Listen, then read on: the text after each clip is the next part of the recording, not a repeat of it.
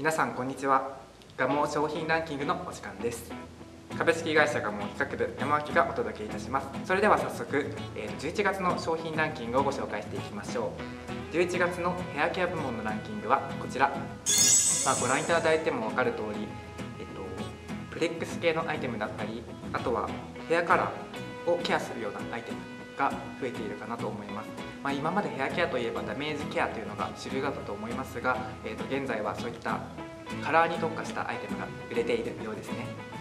続きましてアウトバス部門のランキングです。アウトバス部門のランキングはこちら。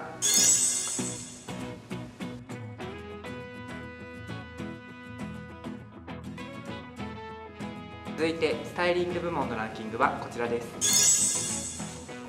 タイリング部門のランキングはほとんどがスタイリング力があまりないオイルだったりとかバームの商品になっております、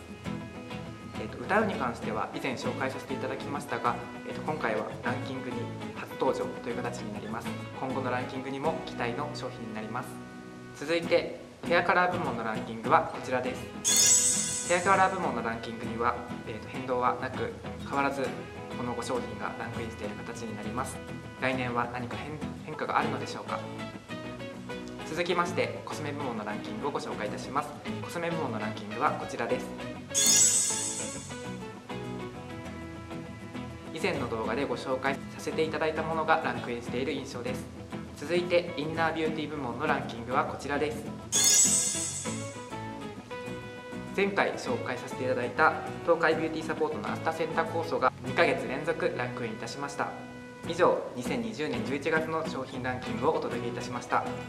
いかがでしたでしょうか？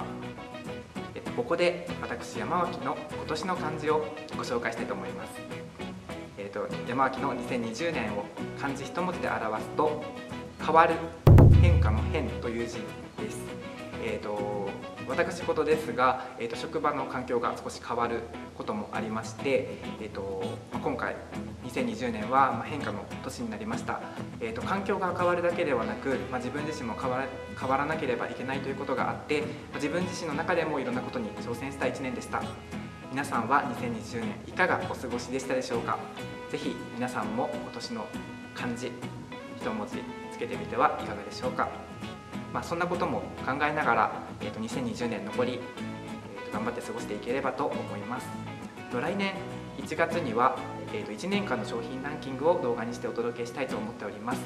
是非そちらの動画もお楽しみにお待ちください。ご清聴いただきありがとうございました。